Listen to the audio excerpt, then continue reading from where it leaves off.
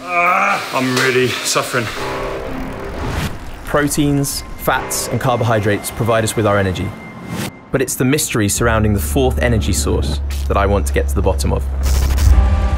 The Tour de France 2019, half the riders were reportedly taking ketones. They are being used alongside carbohydrates. This is a big thing in cycling, but nobody's talking about it. So why the secrecy?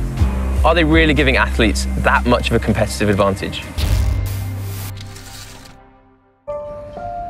The only way to really consume ketones would be to take some form of supplement. Normally, you wouldn't do that. They're produced in your liver, generally in response to a starvation situation. Athletes never produce ketones. You might be able to use them to provide extra energy. I've enlisted the help of an ex professional to try and put ketones to the test. Three, two, one. I have no doubt that ketones can improve performance. Wow, what a difference. What's a little more controversial is whether that's actually performance enhancing. There are a lot of side effects nausea, vomiting. Ketones will suppress your appetite. I certainly don't feel like eating the cheese sandwich that Connor does right now.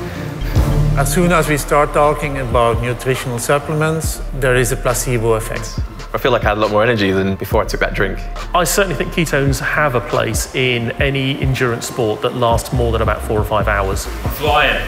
Certainly in recovery, we are 200% sure that it works. Ketones may be compliant with the World Anti-Doping Agency, but should it be something that professional riders are using?